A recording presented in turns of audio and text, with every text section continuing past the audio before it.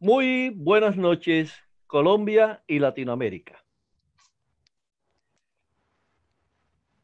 Esta es una noche especial no solamente porque se engalana nuestra capital, Bogotá, por su cumpleaños, primera vez que lo celebra virtualmente, pero también porque nuestra academia se engalana con una metodología novedosa, una metodología que trae beneficios para la población trabajadora y porque la institución que ha querido compartirla con nosotros, pues es una institución de mucho prestigio. Sin más preámbulos, quiero invitar a mis compañeros de equipo para que compartan con nosotros Stanley, Fabrielo, Zulma. Buenas noches, ¿cómo se encuentran todos ustedes? bueno, muy buenas noches. Primero las damas, primero las damas. Gracias, buenas noches Jesús, compañeros. Qué rico poder estar en esta masterclass y este va a ser un tema muy, muy interesante. Gracias. Para esta noche también tenemos eh, como invitado, como conductor, al ingeniero Elvin Sánchez Granada, a quien doy la bienvenida. Autor de la serie ¿Sabías qué? Buenas noches, Elvin. Audio, Elvin. Muy buenas noches para todos y gracias a Jesús por este espacio y a todos los panelistas eh, por la oportunidad que nos dan de compartir y, de poder seguir aprendiendo eh, de seguridad salud en el trabajo. Y nuestro invitado principal, el ingeniero Guillermo Araque. Muy buenas noches, ingeniero. Doctor Palomino, muchísimas gracias y a todos los miembros de este eh, conversatorio virtual, una muy buena noche. Muchas gracias. Eh, le presento a nuestro panel, eh, perdón, a nuestro coequipero, Stanley Fabrielo. Eh, ya, ya, usted conoce a Elvin y a Zulma también le conoce. Bueno, considero que por efecto de tiempo, porque hay bastante que hablar, comencemos de inmediato. La conducción va a estar a cargo de Zulma y Elvin, y tanto Stanley como Fabriel y mi persona le vamos a estar apoyando con las preguntas, con la parte técnica entonces yo haría una primera pregunta y me despido para que continúe. Ingeniero Guillermo, esto que ustedes han presentado a través de la Asociación de Colombiana de Higienistas Ocupacionales, ¿qué es esa asociación? Eh, ¿Cómo se conformó? ¿El por qué? Porque casi siempre hablamos de seguridad industrial, salud ocupacional, seguridad industrial, pero de pronto vemos, epa, hay una asociación de higienistas y segundo, ocupacional, cuando antes siempre nos decían higienistas industriales. Esa es la primera pregunta, ingeniero. Adelante. Muchísimas gracias, doctor Palomino, por su pregunta. Eh, la verdad es la Sociedad Colombiana de Higienistas Ocupacionales es una eh, sociedad o una asociación sin ánimo de lucro que persigue básicamente el posicionamiento de la higiene ocupacional del país como eh, una disciplina de primer orden preventivo que apunta a la disminución de la probabilidad de ocurrencia de enfermedades laborales a través de la intervención de eh, agentes químicos, agentes físicos y agentes biológicos en el lugar de trabajo. Em, básicamente nosotros iniciamos hace aproximadamente unos 10 eh, años con la iniciativa de entusiastas eh, prevencionistas que vieron en esta disciplina un campo de acción muy interesante para ir poco a poco posicionando el ejercicio higiénico en el país y ser también eh, visibilizados ante el mundo técnico-científico en higiene ocupacional. Ingeniero, buenas noches. Gracias por aceptar la invitación y desde acá también le enviamos una gran, eh, un gran saludo al ingeniero Álvaro Araque, papá del ingeniero Guillermo. Eh, y muchas gracias por estar acá, de verdad, es un espacio importante para todos los apasionados de la higiene. Una pregunta sería, em, ¿solamente higienistas pueden eh, pertenecer a la sociedad? Muchas gracias también, eh, Zulma, una feliz noche. La verdad es que tradicionalmente las asociaciones científicas en higiene ocupacional, al menos en distintos países, eh, se fortalecen a partir de higienistas ocupacionales, pero eh, la verdad es que nosotros creemos desde nuestra estructura de conformación que eh, todas las áreas del conocimiento en materia de prevención de riesgos laborales le aportan a la higiene ocupacional. Y asimismo nosotros desde la parte más técnica de higiene ocupacional podemos aportar significativamente en el logro final del, propósito, que es al final en, eh, lograr la disminución de la probabilidad de ocurrencia de enfermedades laborales en, en trabajadores. Entonces, eh, es una sociedad eh, científica abierta para que los eh, especialistas y profesionales de distintas disciplinas que les interese la higiene ocupacional participen activamente en el logro de este propósito final. Muchísimas gracias. al final vamos a preguntar cómo nos podemos asociar, porque hay mucha gente que hasta ahora está ingresando, entonces es importante que todos tengamos esa información. Y pues le doy el paso a Elvin para que el ingeniero Araque pueda hacer la presentación de esa metodología tan importante y tan esperada que nos va a servir a todos en estos momentos en especial. Gracias. Guillermo, buenas noches. Pues un honor y un placer que nos acompañe en este espacio y pues queremos aprender mucho de estas nuevas herramientas y estas nuevas metodologías que pues son del, del interés de toda la de toda la comunidad y de toda la pues sociedad científica, si lo podemos llamar así, en seguridad en el trabajo, porque es un ejercicio bien interesante el que ustedes como sociedad realizaron y queremos que nos cuente cuál fue la motivación de hacer este, esta herramienta, que obviamente no se tiene en el país todavía avalada ni, ni, ni homologada, y eh, pues cuál fue el paso a paso inicial para poderla desarrollar. Muy bien, Elvin. Em, la verdad es que mm, hemos realizado una serie de pronunciamientos que nos parecen relevantes eh, en el marco de la contingencia eh, actual, eh, porque somos unos convencidos de que desde la gestión ocupacional podemos aportar significativamente a la disminución en cierta medida de la velocidad de propagación del virus SARS-CoV-2 y particularmente en ambientes laborales. Entonces, en un primer momento nos pronunciamos, eh, por ejemplo, sobre la crisis de desabastecimiento, eh, sobre respiradores N95 y algunas estrategias para poder compensar finalmente esa crisis de desabastecimiento global que se estaba presentando. A continuación nos manifestamos sobre eh, otros elementos que mm, a nuestro parecer significaban un riesgo importante, en particular el uso elementos de protección personal respiratoria de los primeros respondientes de elementos que no eh, cuentan con las certificaciones eh, del caso y que en la invención, eh, perdón, la invasión de un mercado realmente bastante complejo desde el aseguramiento de la calidad de este tipo de dispositivos presentan falencias importantes en, materia de, de, seguridad en, en, su uso. Eh, también nos pronunciamos con relación a algunos aspectos relacionados con el uso de termómetros sin contacto, eh, cuando se dio toda una especulación relacionada a que este tipo de dispositivos podrían presentar algún tipo de efecto en las personas que eventualmente se vieran en contacto con la radiación eh, infrarroja. y bueno, así hemos venido apoyando en cierta medida a la comunidad de prevención de riesgos eh, en el trabajo para que tomen mejores decisiones sobre una visión de la higiene ocupacional. Básicamente esta metodología de evaluación simplificada la diseñamos y la desarrollamos eh, con el propósito de apoyar eh, la gestión preventiva en las empresas con un objetivo fundamental y es nutrir de elementos de decisión a los encargados de prevención de riesgos laborales para mejorar la calidad de su decisión eh, en el establecimiento de medidas de control y vigilancia. Entonces, esta metodología de evaluación simplificada recoge, como veremos un poco más adelante, algunas iniciativas eh, de eh, valoración cualitativa del riesgo químico, pero adaptada al riesgo biológico y que nos van a permitir en cierta medida jerarquizar el riesgo potencial, ya entendiendo un poco las circunstancias de exposición y las condiciones de trabajo, para eh, realmente pues, aportar un poco de valor en los procesos de toma de decisión. Perfecto.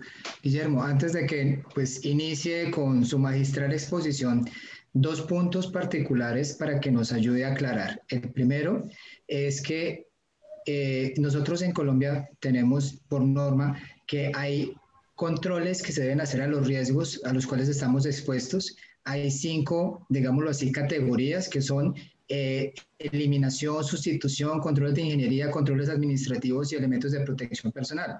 En esta herramienta se plantea solamente, claro, desde controles de ingeniería, eh, controles administrativos y elementos de protección personal, y por obvias razones creemos que no están las dos primeras, para que nos haga esa precisión. Y lo otro es que, pues, hacer énfasis en que esta es una herramienta que de alguna manera nos muestra que la higiene no solo es medir, que no solo son mediciones ambientales. Así es, así es, así es. Eh, Elvin, eh, frente a tu primera pregunta, eh, la verdad es que nuestro, nuestro, nuestro interés esencial es recoger lo que hemos hecho desde el higiene ocupacional tradicionalmente para el abordaje de los distintos factores de riesgo higiénico dentro de la de, también ha existido un punto de entonces si bien antes podríamos hablar de eh, que por ejemplo eh, los elementos de protección personal eh, resultaban de ingeniería por la incertidumbre relacionada con su uso. La verdad es que dentro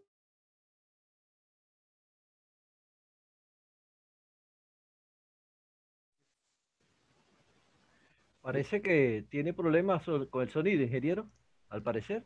Guillermo, sí, le escuchamos con dificultad. Ah, perdón, un segundo hago una...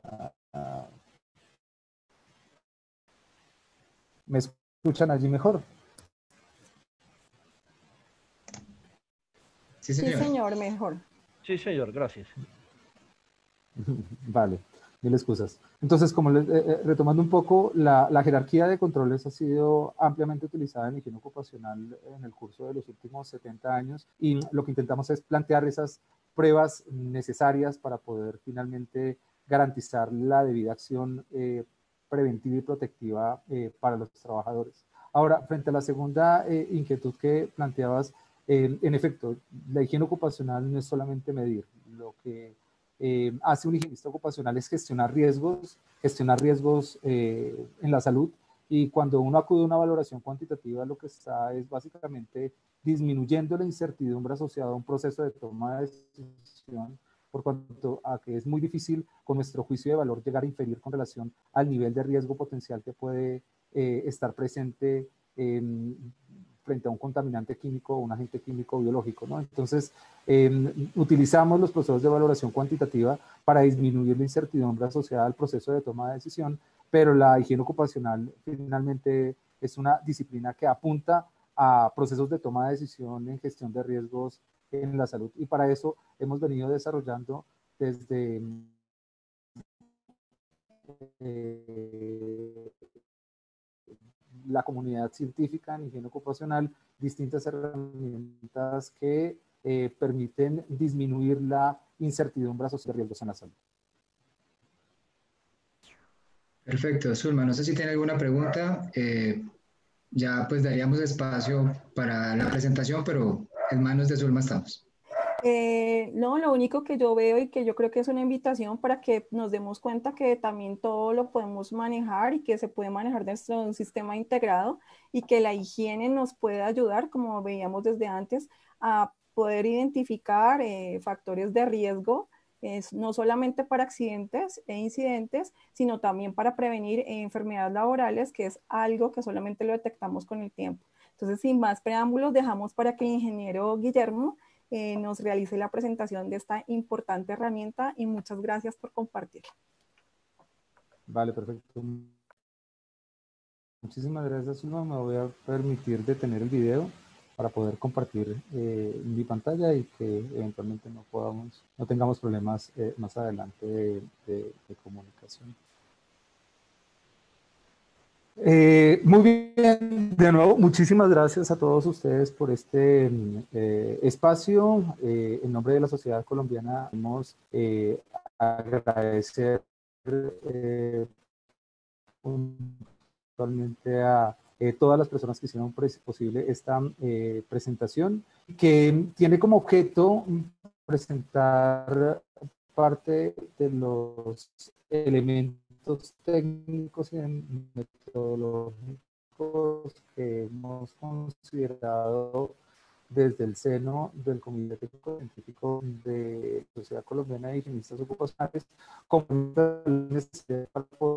poder mejorar los procesos de toma de decisión en el marco de la pandemia eh, actual.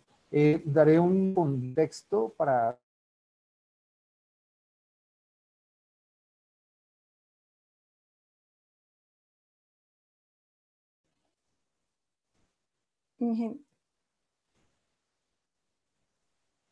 Ingeniero, ¿perdimos el audio?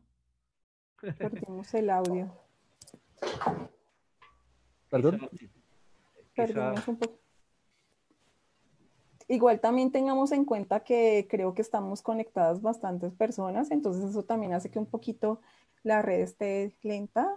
Sí, eso es cierto, eso es cierto. Mil excusas, ¿ya me están escuchando? No, no, no, tranquilo, no se preocupe, sabemos que son a veces situaciones de, de conexión. Perfecto, ahora sí le escuchamos, ingeniero. De todos modos, nosotros le estamos eh, retroalimentando, no se preocupe. Gracias. Vale, perfecto, muchas gracias.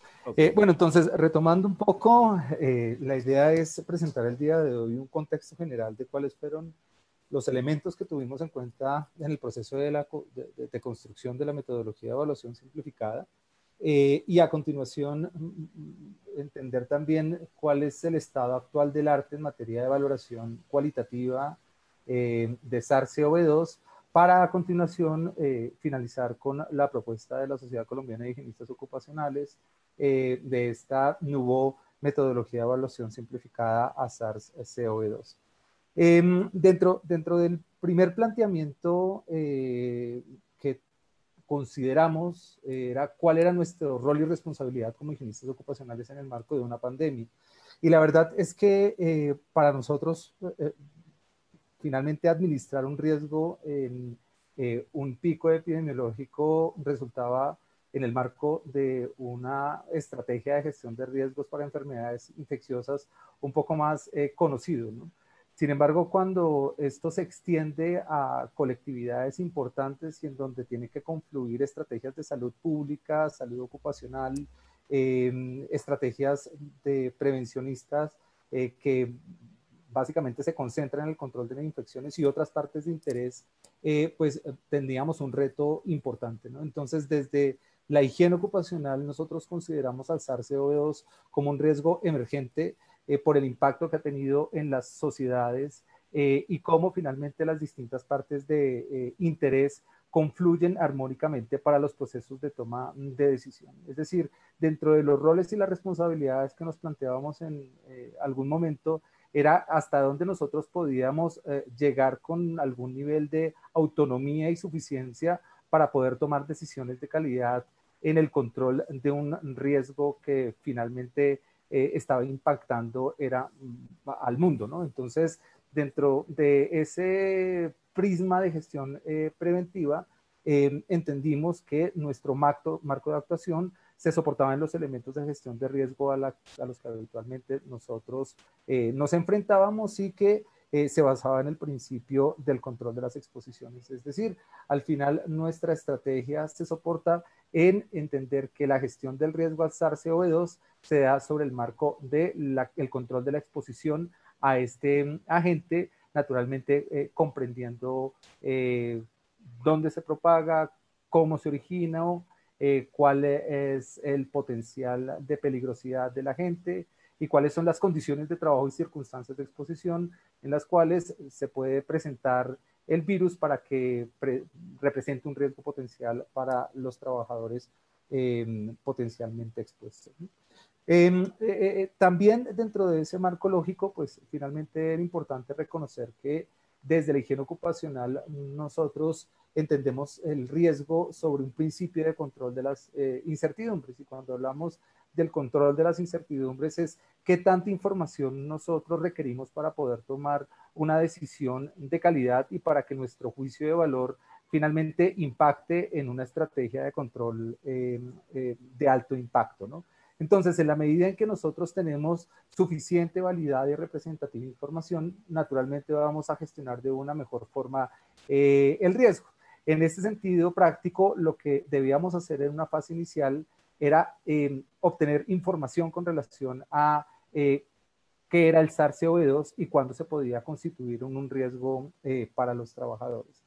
¿Y por qué finalmente nos basamos en un principio del el reconocimiento de la incertidumbre? Porque al final la incertidumbre que ha rodeado la pandemia ha llevado a una serie de externalidades, ¿no? Desde la interrupción de negocios globales, una sobrecarga excesiva en el sistema de salud, una crisis económica eh, que al menos mi generación no había vivido, una escasez eh, de suministros, eh, por ejemplo, de elementos de protección personal respiratoria, ciberamenazas, estrés psicológico, temores, rumores, incertidumbres sobre el futuro, etcétera, etcétera, etcétera. Uno, uno, de los aspectos que nos pareció más importante eh, relacionar es cómo nosotros podíamos aportar significativamente a mm, la reducción de esas externalidades, es decir, cómo desde nuestro actuar podíamos disminuir la probabilidad de que cerraran más negocios, cómo podíamos desde nuestra estructura de decisión disminuir la sobrecarga en el sistema de salud, cómo podríamos en cierta medida eh, disminuir los impactos eh, económicos que se están produciendo actualmente y así sucesivamente, ¿no? Es decir, entendiendo que la higiene ocupacional no solamente es una disciplina eh, preventiva en el mundo del trabajo, sino que puede impactar significativamente eh, a la comunidad y la comunidad dentro de todas sus aristas pues involucra los esquemas de salud pública, eh, la relación entre las comunidades y finalmente la estabilidad en cierta medida eh, macroeconómica. Entonces entendimos que nuestra responsabilidad involucraba reconocer un poco mejor el riesgo para gestionarlo de una mejor forma y controlar las exposiciones ocupacionales que tuviesen un impacto en eh, la disminución de esas externalidades. Entonces, en un primer momento eh, nos, nos, nos, preguntamos qué teníamos antes del 31 de diciembre del 2019, ¿no? Y básicamente teníamos la incertidumbre total. Nosotros no conocíamos qué era el SARS-CoV-2, salvo un evento puntual en la provincia de Wuhan. Eh, lo veíamos muy, muy aislado y posiblemente muy similar a lo que ocurrió con el MERS o con el eh, SARS eh, eh, pero nunca consideramos que en el curso de cuatro meses la Organización Mundial de la Salud lo iba a declarar como una pandemia global. Tampoco teníamos mucha certeza sobre cuáles eran las formas de identificar y de clasificar ese peligro biológico, ¿no? Es decir, no teníamos certeza de que eventualmente podía generar una tasa de mortalidad o de letalidad determinada eh, y si existía una profilaxis o no eficaz para clasificarlo en las categorías tradicionales en donde el riesgo biológico se ha eh, tipificado. Eh, entendiendo que pues, en el pasado los eh, otros síndromes agudos respiratorios severos como el MERS y el SARS estaban entre la categoría 2 y la categoría 3 eh, de peligrosidad potencial, pero este nuevo SARS-CoV-2 desconocíamos totalmente en qué criterio de clasificación iba a entrar. Y por supuesto, no teníamos elementos suficientes para valorar el riesgo, a pesar que eh, tradicionalmente en higiene ocupacional realizamos unos procesos de valoración del riesgo biológico basados en principios de bioseguridad, pues entenderlo en el marco de un contexto pandémico es muy, muy diferente y naturalmente las medidas de control y vigilancia pues eh, son un tanto distintas. Entonces, antes del 31 de diciembre, pues no sabíamos nada. A hoy tenemos un poco más de información, un poco más de información que nos permite tomar mejores decisiones. Es decir, ya eh, sabemos dónde se originó el SARS-CoV-2, cómo se propagó, en qué momento finalmente puede afectar los trabajadores y la comunidad. También eh, sabemos cómo se comporta en cierta medida el virus, cuáles son los efectos eh, potenciales que produce, cuál es la población que se puede ver más vulnerada, cuál es su nivel de peligrosidad eh, potencial. Y sobre esa base también tenemos algunas herramientas para la valoración eh, del riesgo, ¿no? Es decir, ya tenemos unos criterios claros de cómo podemos abordar el riesgo para realizar una evaluación inicial eh, y finalmente sobre esa evaluación inicial determinar cuáles van a ser las medidas más eficaces de control, eh, mitigación y vigilancia para disminuir la probabilidad de contagio a nivel laboral y comunitario. Entonces, dentro de este primer momento de anticipación, ¿por qué digo que tenemos algo de información? Porque pues, igual hoy en día se entretejen teorías eh, conspirativas de eh, que eventualmente este virus fue creado por un laboratorio eh, para generar una crisis y una inestabilidad global, ¿no? Es decir, todavía hoy está eso en, el marco de las investigaciones por lo reciente del SARS-CoV-2. Sin embargo, nosotros tenemos un poco más de, preferencia a eh, entender que eh, finalmente la ciencia nos va a explicar em, cuál es el origen del SARS-CoV-2. Y de acuerdo a la estructura genómica, se sabe que es un evento zoonótico que se transmitió a través de animales desde un reservorio silvestre, que fueron los murciélagos y que contagiaron finalmente un mamífero intermediario probablemente el pangolín, que a su vez adaptó el virus para infectar a los humanos y luego transmitirse de persona a persona. ¿Y por qué es importante conocer el origen del SARS-CoV-2? Porque si uno eh, pues conoce a su enemigo, es eh, más fácil también poder, en cierta medida, atacarlo, ¿no? Eh, esa estrategia de guerra es muy común dentro del campo de prevención de riesgos laborales en la medida que conozco más con relación a cuál es ese factor de riesgo eh, de seguridad, de salud, eh, eh, pues finalmente puedo establecer mejores medidas de control y vigilancia. También, y esto es un tema que discutiremos un poco más adelante, reconocemos de acuerdo a la evidencia disponible y a lo que se destaca hoy en día en el marco del control de enfermedades infecciosas cuáles son las principales rutas de transmisión del SARS-CoV-2. ¿no? Entonces, de acuerdo al primer documento que desarrolló la Organización Mundial de la Salud, a partir de los dos estudios eh, iniciales, que fueron básicamente en la provincia de Wuhan y en el em, eh, Paradise, se logró concluir que finalmente el SARS-CoV-2 eh, se da de manera dominante el contagio como consecuencia del contacto estrecho y prolongado de una persona infectada a una persona sana, ¿no? Eh, y que las otras vías pueden ser probables, pero finalmente no se cuenta información, eh, no se cuenta con información suficiente de la propagación a través de eh, fomites o de superficies y también de partículas aerotransportadas inferiores a 5 micras. Por cuanto a, como veremos un poco más adelante, la evidencia que soporta esas pruebas de hipótesis están eh, o tienen muchos factores de confusión, ¿no? Porque al final se han dado sobre todo investigaciones de laboratorio y en ambientes en donde puede existir también la ruta de transmisión a través de contacto estrecho eh, y prolongado, ¿no? Entonces, esto es importante también reconocerlo porque, por un lado, nosotros vamos a ser muchísimo más concretos en definir actuaciones de control más exhaustivas en unas rutas que en otras, en la medida en que unas rutas son más probadas científicamente que otras o se tiene más evidencia. Naturalmente, se tendrán que intervenir otras vías por un principio de precaución y basado eh, principalmente en el concepto de tan bajo como razonablemente sea eh, posible. ¿no? Ya desde la identificación, eh, al menos el, consenso general llevó a clasificar al SARS-CoV-2 en el grupo de riesgo 3 para quienes hayan o los que estén básicamente familiarizados con los niveles de, riesgo biológico.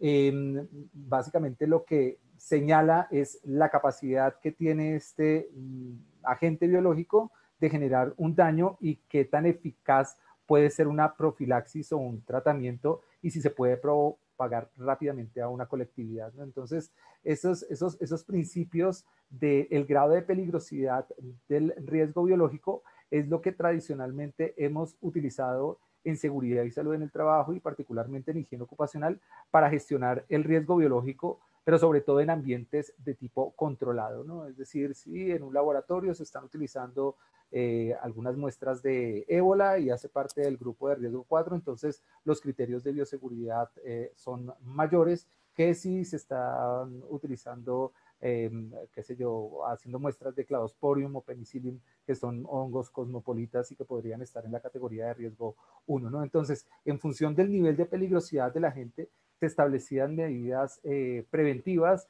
asociadas a lo que comentaba Elvin en algún momento, eh, relacionadas a la jerarquía de controles.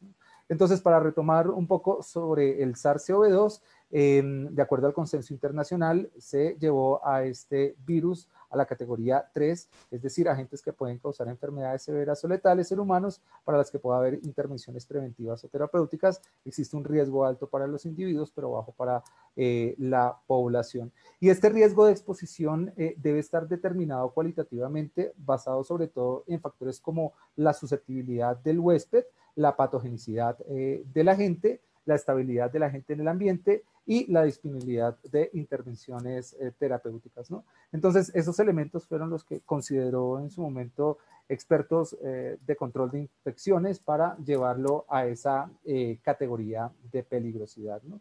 Naturalmente, lo, lo, lo, relevante es que nosotros no podemos establecer la misma condición de riesgo controlado en un espacio de trabajo definido cuando se trata de una pandemia. Es decir, al final el grado de peligrosidad va a permitirme valorar el riesgo de una eh, forma alternativa porque no puedo establecer los mismos criterios de bioseguridad que en un ambiente razonablemente controlado en donde se sabe con certeza que se está manipulando ese eh, agente infeccioso o ese bioaerosol o finalmente ese agente biológico. ¿no? Entonces, la dificultad de determinar eh, así, una medida de control y vigilancia de alto impacto basado en eh, la peligrosidad potencial de la gente y entendiendo que se, se podían dar escenarios de exposición eh, potencial variables, es lo que constituyó como el punto de partida para eh, establecer alguna metodología que nos permitiese inferir el riesgo potencial en una condición de exposición un tanto diferenciada a un ambiente de trabajo eh, controlado. Y es allí donde eh, empezamos a hacer un proceso de eh, búsqueda de evidencia relacionada a cómo podíamos evaluar el riesgo del SARS-CoV-2 a partir del concepto de mm, análisis de las exposiciones. ¿no? Entonces planteábamos un problema, ¿no? Primero, eh, que al final muchos países estaban experimentando una transmisión local continua a pesar de los diferentes eh, niveles de esfuerzo eh, relacionados con el control. Es decir, veíamos que al final existía una brecha importante entre lo que había sucedido con el MERS, con el SARS y lo que estaba pasando con este SARS-CoV-2, en donde al final las medidas eh, no fueron suficientes para controlarlo desde su origen. Entonces, eh, los otros síndromes agudos respiratorios severos eh, habían sido considerados, pues, eventos epidémicos en regiones concretas y los esquemas de salud pública lo abordaron de una manera eficaz y no se convirtió en una pandemia. Entonces, lo que, muchas de las pruebas de hipótesis que se plantean hoy en día es por qué el SARS-CoV-2 eh, desarrolló un incremento eh, tan alto en función de em, las infecciones que se estaban propagando en las comunidades sin un control eh, apropiado, ¿no? Es decir, entendíamos que en algún momento iba a llegar ese problema a Colombia y que iba a llegar al mundo de la empresa y que nosotros teníamos que tomar finalmente decisiones. Lo segundo es que comprender las diferentes rutas de transmisión del SARS-CoV-2 es necesario para planificar intervenciones efectivas para romper la cadena de transmisión. Es decir, en la medida que nosotros tenemos mejor información disponible sobre em, las rutas de transmisión, pues es muchísimo más fácil establecer las medidas de control. Es decir, si hoy nosotros tenemos suficiente validad y representativa información que los eh, contactos estrechos eh, y prolongados de una persona infectada con una persona sana eh, puede generar finalmente la infección en la persona sana, pues naturalmente yo tendré que establecer todas las medidas de aislamiento necesarios entre esas dos personas para asegurar eh, que no va a existir una, una transmisión, ¿no? Ahora, si hoy en día tenemos información limitada sobre la, el contagio a través de partículas aerotransportadas inferiores a 5 eh, micras, pues eh, difícilmente vamos a establecer una medida de control muy sofisticada para disminuir la probabilidad de que partículas inferiores a 5 micras estén en el ambiente, naturalmente, eh, eh, del virus activo. Entonces, si conocemos mejor las rutas de transmisión, es muchísimo más fácil establecer las mejores medidas de control. Y finalmente, también reconocíamos que no, exista, no existía perdón, en su momento información muy contundente para poder eh, establecer qué otras vías, como el contacto por superficies o la, o la vía aérea, correspondían a vías principales de, de transmisión. Entonces, era necesario darle un peso ponderado a cada una de esas vías para entender cómo íbamos a establecer medidas de control y vigilancia más eficaces. Entonces, una vez realizado ese proceso de análisis inicial, cómo íbamos a abordar desde la higiene ocupacional em, esa, ese agente biológico de acuerdo a una condición de trabajo y un escenario de exposición eh, concreto. Em, naturalmente, el core de eh, la gestión del riesgo basado en el control de la exposición se basa en la evaluación. ¿no? Y tradicionalmente, como se mencionaba al inicio de esta charla, eh, la higiene ocupacional ha acudido a procesos de valoración cuantitativa del riesgo. ¿Y por qué ha acudido a procesos de valoración cuantitativa? Porque con, nuestros sentidos no podemos determinar, por ejemplo, cuál es el nivel de concentración en aire del, del, del benceno o si hay un ruido muy estruendoso, no vamos a poder determinar si en efecto se superaron o no los 85, los 90 o los 100 decibeles en escala de ponderación A. Para eso nos apoyamos, ¿no? Es decir, finalmente tenemos en cuenta un método y una técnica instrumental para eh, refinar nuestro juicio eh, de valor y poder tomar la mejor decisión. Es decir, la evaluación cuantitativa se consideró en un primer momento como una alternativa para eh, abordar el riesgo por SARS-CoV-2, pero también dejamos básicamente como en un segundo orden de importancia, si, eh, si podríamos finalmente entender que dentro del de el nivel de información disponible, un proceso de caracterización cuantitativa nos iba a dar mejor información que eh, una metodología de evaluación simplificada. Em, lo dejamos en un segundo orden de importancia, pero si no íbamos a tener información suficiente desde la evaluación cuantitativa, naturalmente tendríamos que acudir a otro tipo de procesos de valoración. Entonces, de cara a la evaluación cuantitativa, eh, hoy todavía se reconoce la limitación de confrontar una concentración en aire o superficie de un agente biológico que en comparación con una carga viral bacteriana o bicótica de referencia me permite el establecimiento de una medida de control. Es decir, la gran limitación que ha tenido la higiene ocupacional eh, desde su génesis ha sido eh, en el campo de los riesgos biológicos que carecemos de un valor umbral, ¿sí? Porque al final el comportamiento de eh, las personas frente a determinadas cargas virales y dependiendo de la susceptibilidad y de eh, las condiciones individuales de cada individuo puede generar reacciones distintas. Entonces, eh, de ahí partimos para poder entender que los agentes biológicos son difícilmente caracterizables en condiciones cuantitativas porque no es posible establecer un nivel de riesgo potencial eh, por cuanto a que no vamos a tener nunca un nivel umbral de comparación. Sin embargo, lo, cierto es eh, que cada día más se está investigando y en el curso de los últimos meses eh, se lograron avances importantes para la vigilancia ambiental del SARS-CoV-2.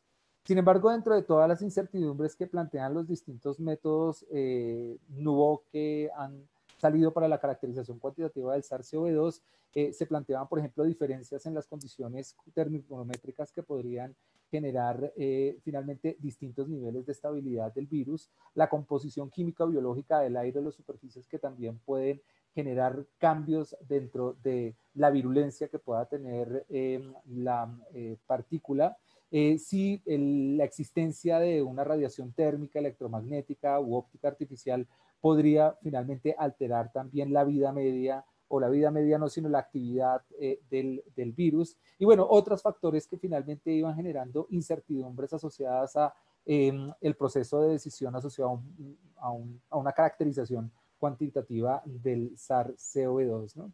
Incluso eh, fabricantes muy importantes de los Estados Unidos eh, planteaban distintos tipos de métodos de toma de muestra y análisis también Em, para capturar finalmente el SARS-CoV-2 y que han sido utilizados por los investigadores para poder eh, básicamente caracterizar la actividad eh, del virus. Pero sin embargo, es una técnica o son técnicas muy, muy complejas que requieren eh, muchas o el control de todas estas variables que estaba mencionando anteriormente para tener una medida confiable del riesgo eh, potencial. Y dentro de las técnicas analíticas comunes, pues estaban eh, básicamente las técnicas PCR, en donde pues capturábamos el virus a través de cualquiera de estos medios de soporte y se podía analizar. Sin embargo, eh, nos podía generar tantos falsos positivos como falsos negativos, eh, la sensibilidad y la especificidad no estaba aprobada, la actividad o no actividad del virus tampoco. Entonces, eh, al final estamos dentro de la evaluación cuantitativa hoy en día en una incertidumbre total frente a si esa información es suficiente, validada y representativa para poder tomar una decisión de calidad.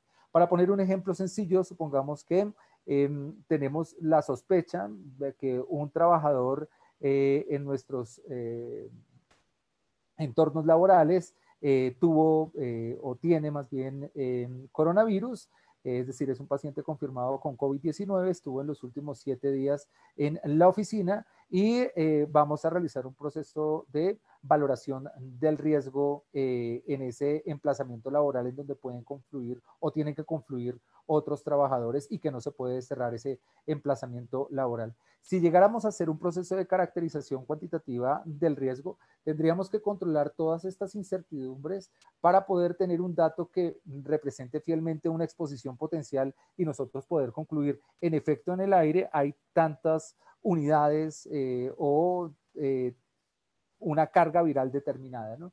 Entonces, sobre esa base, sobre el reconocimiento de las limitaciones, es que nosotros entendimos que el abordaje del de, eh, SARS-CoV-2 eh, vía evaluación cuantitativa era muy útil para la verificación, por ejemplo, de medidas de control o la investigación, pero no tanto así para los procesos de valoración del riesgo. Entonces, es allí donde ya sale muchísimo más potente la evaluación cualitativa y eh, iniciamos con un proceso de revisión de la evidencia relacionada con eh, qué propuestas estaban haciendo las distintas eh, asociaciones científicas para la valoración cualitativa del riesgo. Y de nuevo nos vamos a el punto de partida, ¿no? Es cómo se transmite finalmente el SARS-CoV-2 y lo que encontramos inicialmente es que la mayoría de asociaciones encargadas en seguridad y salud en el trabajo y las agencias eh, que tienen esta responsabilidad, eh, concluían que las eh, tres rutas de contagio posible era la transmisión por gotas, la transmisión por, por, por contactos o fomites y la transmisión por aerosol. ¿no? Entonces, de cara a esas tres formas de transmisión y entendiendo que el control de las exposiciones se da desde el control de la transmisión, pues la gran mayoría de los documentos que iniciamos en esa revisión pues tenían como común denominador el hecho del control de la infección a través del control de estas tres eh, vías. Y eh, un poco más inquietos decidimos ver por qué esas tres vías y eh, encontramos un artículo o varios artículos muy, muy interesantes en donde en efecto se documentaba fielmente que la transmisión sobre contacto estrecho y prolongado eh, de una persona eh, contagiada por SARS-CoV-2 y una persona sana era como la de mayor evidencia, pero existía otra información muy interesante frente al contacto eh, por superficies y también del contacto vía, o la transmisión más bien vía aerosoles. ¿no? Sin embargo, lo que observamos es que dentro de ese cuerpo de evidencia disponible, la gran mayoría de artículos científicos que documentaban eh, la transmisión a través de esas dos vías alternativas se habían dado en escenarios sobre todo de la salud, en donde el contacto cercano, estrecho con personas contagiadas por eh, COVID-19, pues era evidente. Entonces, eso para nosotros era un factor de confusión eh, importante.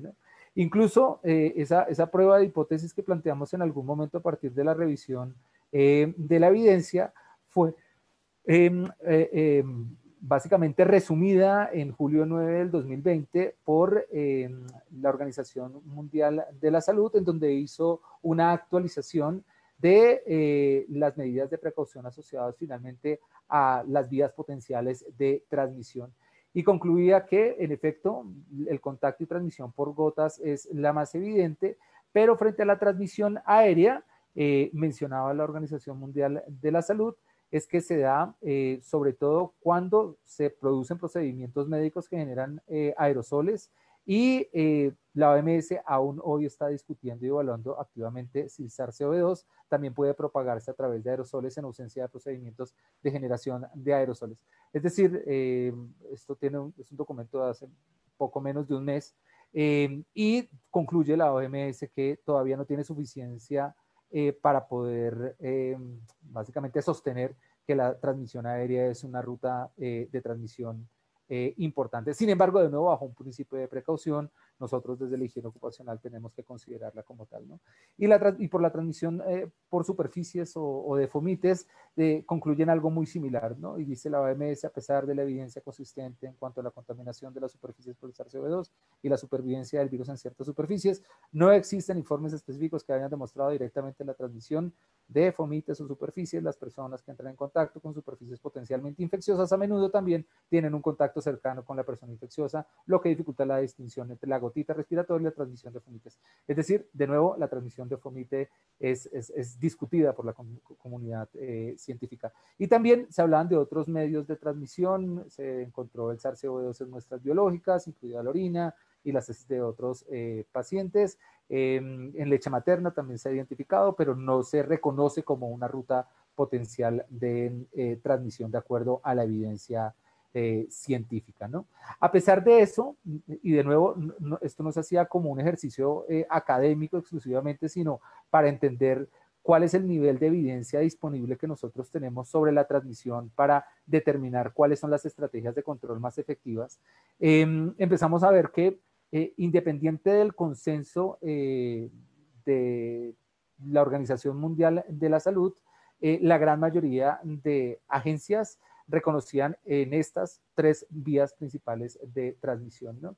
Eh, un primer documento que revisamos muy, muy interesante eh, fue el documento de retorno al trabajo de la OSHA, en donde definía que en la medida en que un profesional o un trabajador pudiese tener una mayor probabilidad de contacto eh, cercano y prolongado con una persona infectada eh, si pudiese existir mayor probabilidad de contacto eh, a través de superficies o piel con piel y pudiesen existir potencialmente una mayor transmisión a través de aerosoles, pues naturalmente el nivel de riesgo asociado a ocupación era mayor, ¿no?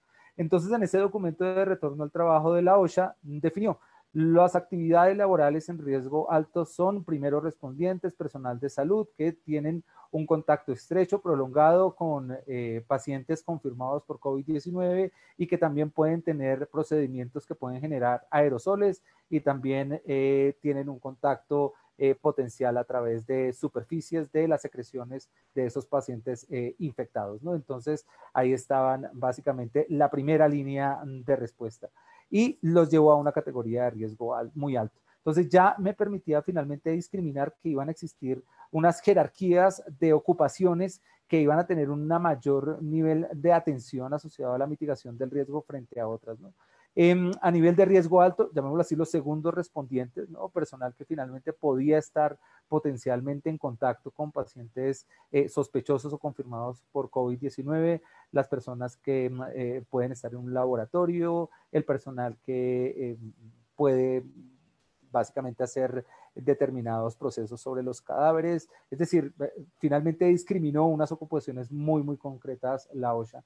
Y dijo, y el resto de la población, el resto de la población está en un nivel de riesgo medio en función de una pandemia eh, y un virus que finalmente puede contagiar a muchísimas personas en cualquier eh, entorno. ¿no? Entonces, el resto de la población ocupacional está finalmente en una categoría de riesgo eh, medio.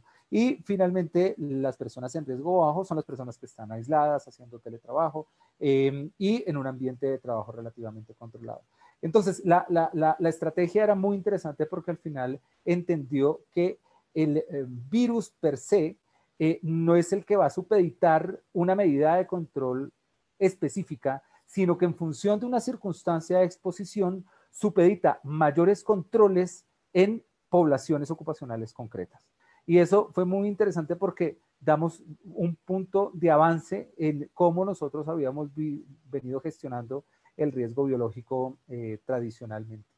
Em, y sobre esa estructura de jerarquía eh, de controles es que empezamos a ver otras iniciativas muy, muy interesantes. Eh, una de esas fue la de la Asociación de Sociedades de Prevención Ajeno de España, que desarrolló una metodología muy, muy interesante en donde computaba la exposición geográfica, eh, una pirámide de riesgo ocupacional asociado finalmente a la probabilidad también de contacto eh, estrecho, eh, prolongado, contactos a aerosoles y eventualmente a superficies eh, y le daba una ponderación en función de unos valores numéricos concretos, si podía existir un contacto potencial, si se estaban haciendo algunas prácticas de trabajo, si contaban o no con protección respiratoria y ventilación. Y al final, esa, esa, esa suma de cada uno de los elementos me iban a dar una escala de calificación potencial de riesgo, ¿no? Una de las limitaciones que vimos de esta metodología fue, por ejemplo, el hecho de no reconocer las personas en especial grado de vulnerabilidad o eventualmente que con unas comorbilidades específicas podían incrementar la condición de riesgo eh, potencial. Y ese valor numérico eh, adimensional tampoco nos ofrecía como mucha confianza frente a la interpretación de la información porque se estaban combinando variables tanto de riesgo como de control, ¿no? Entonces, em, fue un avance muy, muy importante, posiblemente la primera iniciativa en, en castellano, em, pero al final una iniciativa que le apuntaba a procesos de valoración cualitativa del riesgo, ¿no? El NEDERCOP fue una iniciativa neerlandesa eh, que también eh, involucraba esos criterios asociados a la exposición potencial de acuerdo a la probabilidad de contacto cercano, eh, contacto indirecto, le llaman ellos, pero es el contacto por, por superficies y la exposición a aerosoles. Y lo interesante es que mm, mm, básicamente lo, lo, ajustaba en función de la comorbilidad. Entonces fue la primera herramienta que observamos que involucraba la comorbilidad dentro del análisis. Ahora, dejaba otros elementos aparte como los que estaban planteando em, eh, la metodología de la Asociación de Sociedades de Prevención Em, españolas. ¿no? Y más recientemente, la Sociedad Británica de Higiene Ocupacional desarrolló esta metodología también de valoración cualitativa basada en el mismo sistema de control eh, banding o, de sistema de control por bandas, en donde pues la exposición es una relación de la probabilidad y la duración. Entonces, dependiendo de la duración diaria y si puede existir o no exposición con una persona confirmada, eh, con COVID-19, pues se establecen unas medidas de control aplicables a cada una de las bandas en función de, los resultados de exposición eh, potencial y finalmente podríamos tener unos rankings asociados a exposición, unas bandas de controles aplicables y las opciones de control en fuente medio eh, e individuo. Entonces, ¿qué, ¿qué, hicimos desde, desde la um, Sociedad Colombiana de Higienistas Ocupacionales? Entender que hoy en día se nutre aún más los procesos de valoración simplificada o cualitativa del riesgo higiénico, que todas ellas han tenido como marco de referencia lo que se ha venido desarrollando en el curso de los últimos 20, 25 años en materia de valoración simplificada o cualitativa del riesgo químico, había cuenta del crecimiento del incremento importante del uso de sustancias químicas en el mundo del trabajo y que han venido fortaleciendo cada vez más estos modelos de valoración es simplificada o subjetiva y que a partir de la adaptación de estos modelos a eh, el contexto eh, de la administración del riesgo biológico, pues tienen eh, asertividad por cuanto a que permiten finalmente mejorar los problemas de calidad asociados a la decisión sustentadas en la evaluación del riesgo. Es decir, que, como ustedes bien saben, si nosotros desarrollamos buen una buena evaluación del riesgo, podemos tener un mayor nivel de certeza de que las medidas de control que vamos a establecer van a tener un alto nivel de impacto. Mientras que si nosotros dejamos eh, en manos de terceros los procesos de valoración de riesgo, pues vamos a tener problemas de decisión, ¿no?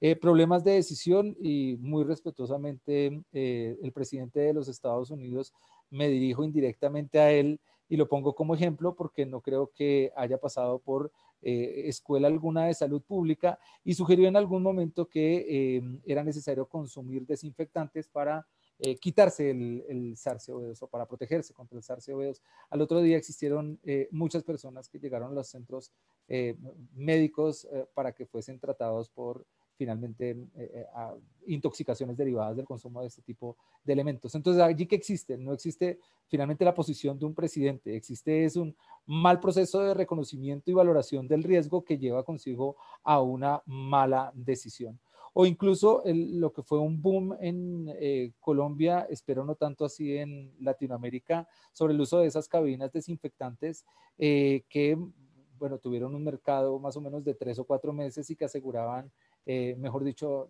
desinfectar a todas las personas de, de una comunidad y se asperjaban productos como, qué sé yo, hipoclorito de sodio, peróxido de hidrógeno, amonios cuaternarios, eh, cuando al final, eh, para reconocer finalmente que eh, la eficiencia de esa medida de aspersión no sirve de nada para el control de la transmisión potencial y genera un falso sentido de precaución, ¿no? Y al menos lo que sucedió muy comúnmente en el país es que las decisiones con relación a la adquisición de este tipo de cabinas no lo hacían las oficinas o los despachos o las áreas eh, o las divisiones de prevención de riesgos en el trabajo. Quien tomaba esas decisiones era el gerente o el de producción o personas que no tenían competencia necesaria para poder hacer eh, un proceso de valoración de riesgos y finalmente establecer una medida de control efectiva. Solamente hasta que el Ministerio de Trabajo dijo que esto no tenía ningún tipo de efecto práctico en la reducción del riesgo, pues no se dejaron de, vender y de comprar. Y asimismo podemos hablar de muchísimas... Em, temas asociados a los problemas de calidad cuando se hace una, una, mala evaluación del riesgo, ¿no? Entonces, lo que, lo que consideramos desde el seno de la sociedad fue eh, apoyar los procesos de toma de decisión de los prevencionistas, pues orientándolos un poco sobre cuál podría ser nuestra visión en la exposición potencial al COVID-19. ¿no? Entonces, esos elementos eh, son los que hemos llevado a eh, una guía técnica muy, muy sencillita, un tanto extensa, pero, pero sencilla de, de entender sobre cómo podemos hacer una valoración simplificada del riesgo biológico eh, cualquiera, pero por supuesto en este caso está eh, enfatizado en SARS-CoV-2 em, y también cómo podemos utilizar una herramienta en Excel muy interesante que desarrollamos de manera reciente. ¿no? Entonces, por concepto general, eh, entendimos que la relación de exposición potencial es finalmente una contraposición entre el grado de riesgo eh, y el grado de control que yo he establecido. Es decir, qué tanto varía la peligrosidad potencial de ese agente en un escenario eh, de trabajo concreto en función de una circunstancia eh, de exposición específica basado en que yo puedo establecer medidas de control que mitiguen finalmente la exposición potencial a este agente.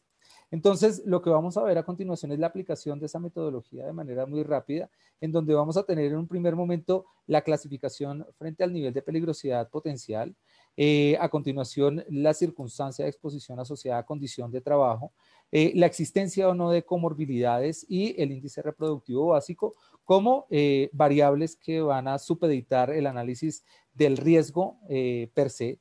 Y em, en el denominador vamos básicamente a entender las variables asociadas a control, ¿no? es decir, cómo a través de eh, la ventilación, las prácticas de trabajo segura, el tránsito seguro y la protección colectiva e individual podemos eh, disminuir finalmente la exposición potencial. ¿no?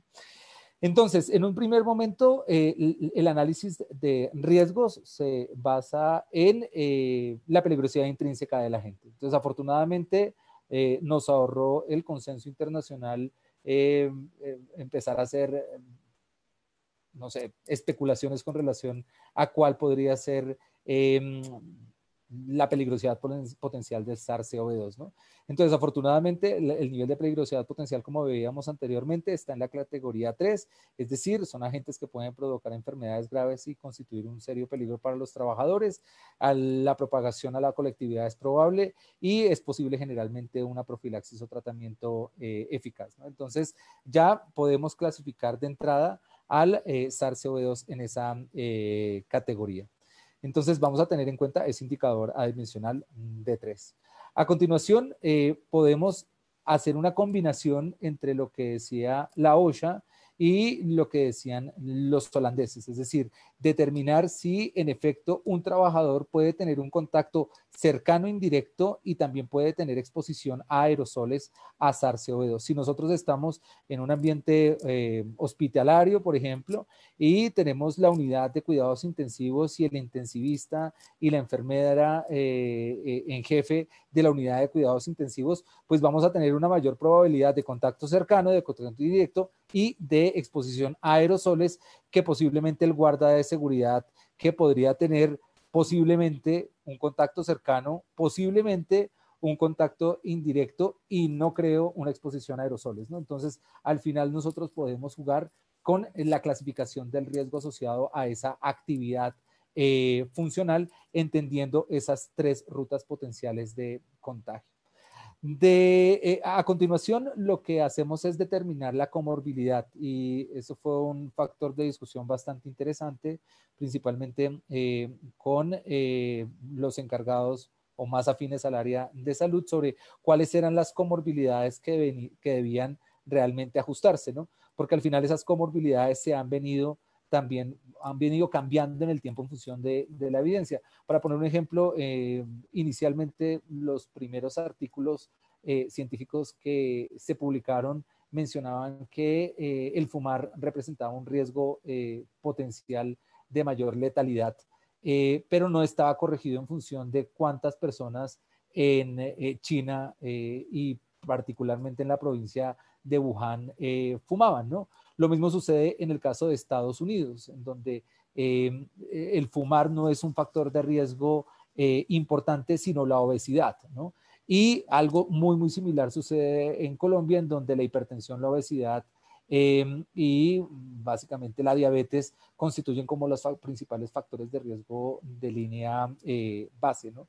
Entonces, ante toda esa confusión, nos llamó mucho la atención una iniciativa del Centro de Control de Enfermedades de los Estados Unidos, el CDC, en donde en su página eh, de eh, COVID-19 tiene la relación de eh, factores de riesgo adicionales, pero dan una, una, justificación, ¿no? Y también lo dan en una connotación definida, es decir, Em, finalmente, cuando nosotros nos dijeron en Bogotá recientemente no pueden salir los obesos, pues hay distintas categorías de, obesos.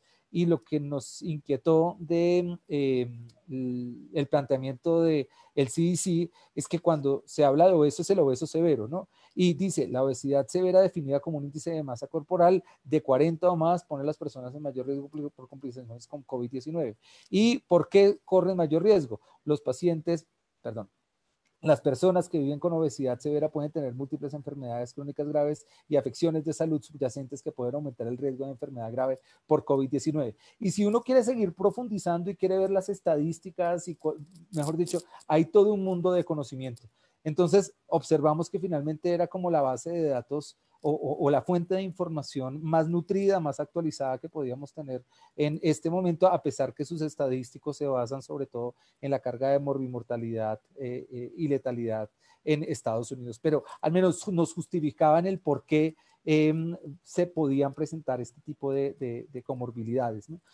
digo que finalmente se dio una discusión muy interesante con em, miembros de la sociedad más afines al tema eh, de salud, eh, porque mm, lo veíamos nosotros quizás un tanto más eh, pragmático de clasificar a una persona con eh, diabetes no controlada y obesidad severa con dos comorbilidades y nos daba 200 para ponderar finalmente la valoración final. Pero si la diabetes es controlada o no controlada, pues es un tema que desde la higiene ocupacional no, no, reconocemos con, con facilidad. Entonces, al final, es muy importante que si ustedes deciden eh, adaptar esta metodología en sus empresas, pues tengan un acompañamiento y una interlocución con eh, personas del área de salud que nos pueden dar mayores luces.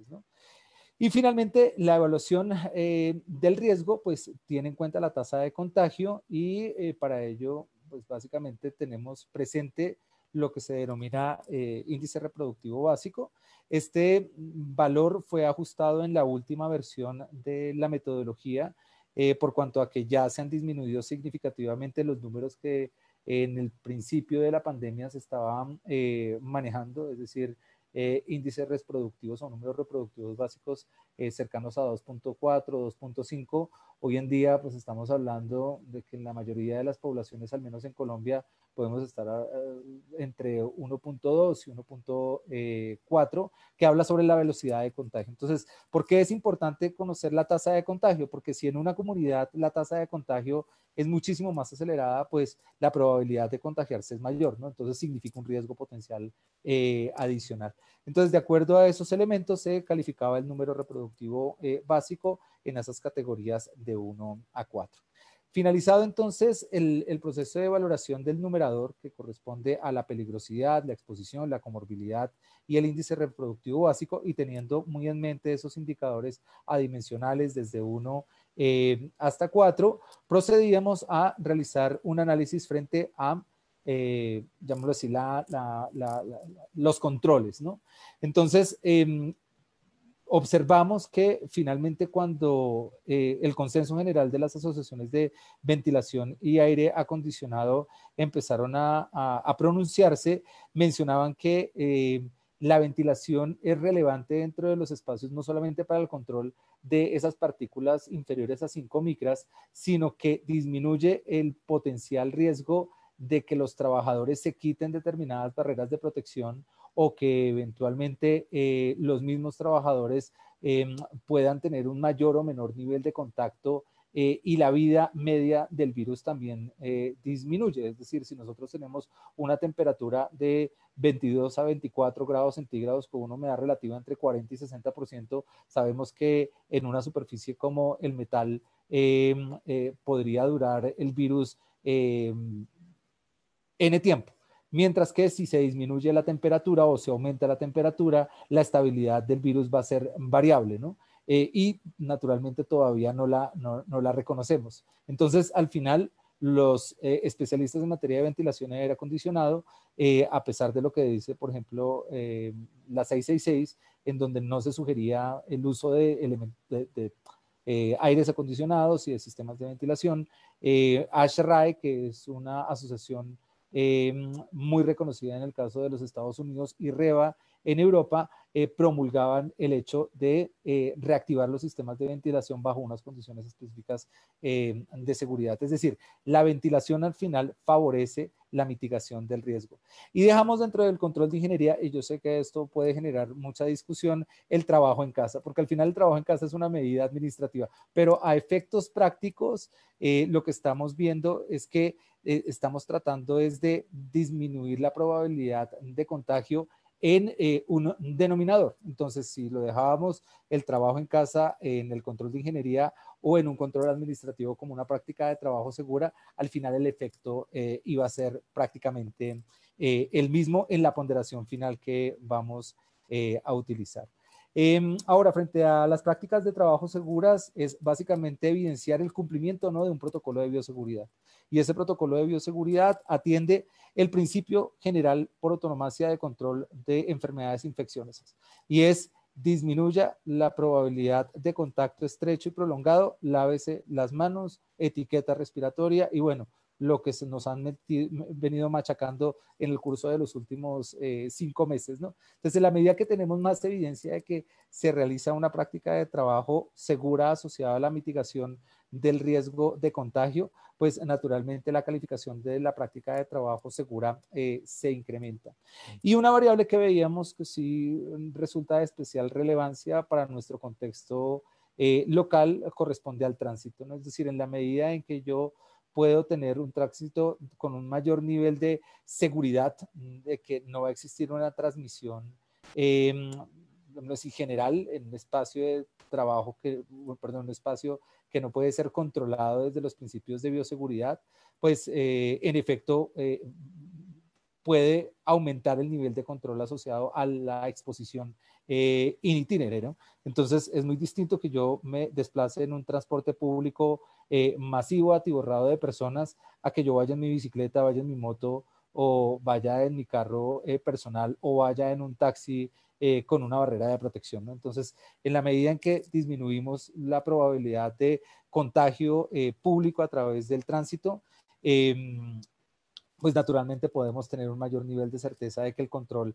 es eh, efectivo, ¿no? Ahora, no podíamos llevar esta lista de análisis a los hogares ni saber si eventualmente se están haciendo buenas prácticas de higiene personal, si, se respeta el distanciamiento, etcétera, etcétera, etcétera, porque no es nuestro, nuestro campo de actuación. Y finalmente, eh, los elementos de protección y consideramos Em, eh, básicamente denominarlos como personales y colectivos, eh, porque al final todos estos sistemas de apantallamiento facial, de uso de máscaras eh, quirúrgicas o máscaras hechas eh, en caja, en casa, perdón, eh, disminuyen en efecto el, potencial de transmisión de esas gotas de, de, gran tamaño, ¿no? Y eventualmente veíamos también que existían algunos entornos laborales en donde ya el uso de los elementos de protección personal respiratoria N95, P100, FPP1, FPP2, FPP3, para la mitigación de otros riesgos como partículas aerotransportadas, humos, eh, humos metálicos, pues ya se estaba utilizando, pues al final resultaría interesante indexarla también dentro de una estructura de análisis. O bueno, quienes puedan darse el lujo de comprar mascarillas N95 hoy en día certificadas, por favor, eh, a los precios que están para proteger a sus trabajadores, pues aún más maravilloso, ¿no? Pero al final, de nuevo, teniendo como marco de referencia inicial eh, la estructura de gestión preventiva que estábamos planteando en un principio que corresponde al grado de evidencia disponible frente a las distintas formas de transmisión. ¿no? Entonces, sobre cada uno de esos criterios, desde el 1 hasta el 4, dábamos un, valor, ¿sí?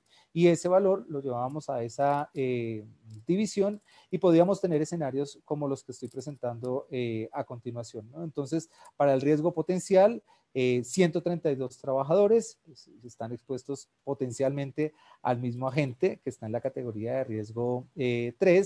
Eh, em, a continuación, el riesgo asociado a la actividad funcional, 44 estaban en trabajo en casa y 88 estaban finalmente en la condición de riesgo eh, habitual de la empresa. Los factores de riesgo adicionales, 84 no tenían ninguna comorbilidad, 27 tenían una comorbilidad, 20 tenían dos comorbilidades y uno tenía tres comorbilidades. Y el número reproductivo eh, básico para la región en ese momento era básicamente entre 1 eh, y 2. Y a continuación, los controles. Entonces, existían unos trabajadores que estaban en casa, otros que tenían eh, ventilación mecánica en sus puestos de trabajo y otros ventilación eh, natural. Se logró identificar un buen nivel de performance en las prácticas de trabajo seguras. Todos los trabajadores estaban siendo eh, desplazados en medios suministrados por la empresa con protocolos de bioseguridad y todos tenían eh, una calificación 3 con relación a los elementos de protección personal. Entonces, esos 132 trabajadores que inicialmente en el marco de una pandemia eh, estaban clasificados en un nivel de riesgo importante en función de la información debida, pues nos permitió estimar que en efecto 22 requieren medidas de control y vigilancia adicionales, 66 podrían mejorarse esas condiciones eh, de trabajo o esos escenarios de control eh, vinculados al riesgo y 44 no es necesario perdón, establecer medidas de control y mitigación eh, complementarias. Entonces, esto, esta jerarquización de riesgos potenciales me permite entender que los esfuerzos de control y vigilancia se deben eh, centrar en esos 22 trabajadores que a un segundo nivel de relevancia, esos 66 y a un último nivel de importancia, los 44 restantes. Y puedo jugar finalmente con la variación de los criterios asociados a control o con medidas complementarias de vigilancia y control del, riesgo. ¿no? Entonces, siguiendo de nuevo la pirámide de, mm, eh, o la jerarquía más bien de controles, desde eh, la clasificación de riesgo muy alta, en donde será necesario el aislamiento, el control de ingeniería, la formación de información, el control biológico, elementos de protección personal eh, y transporte, hasta finalmente la formación de información bajo un principio de, precaución. Em, este, esta, esta mm, herramienta general, como bien les había comentado, se nutre de un documento mm, de referencia, ese documento de referencia es el archivo PDF que les eh, compartirán más adelante y que lo acompaña esta muy sencilla eh, hoja de cálculo en donde van a estar finalmente discriminadas por eh, los criterios de riesgo. Si ustedes pinchan sobre cada uno de estos elementos, les va a ampliar lo que dice el CDC frente a cada una de estas comorbilidades, por ejemplo, dejamos los enlaces allí eh, indexados. Eh, con relación a los criterios de control, pues lo que acabamos de ver. Y en el proceso de valoración simplificada, simplemente lo que nosotros vamos a, o podríamos eh, indexar, esta hoja si está abierta totalmente, el nombre del trabajador, el área del cargo, si tiene o no una condición especial de salud, indexar las comorbilidades y finalmente vamos dándole eh, los resultados del proceso de calificación que estemos dando.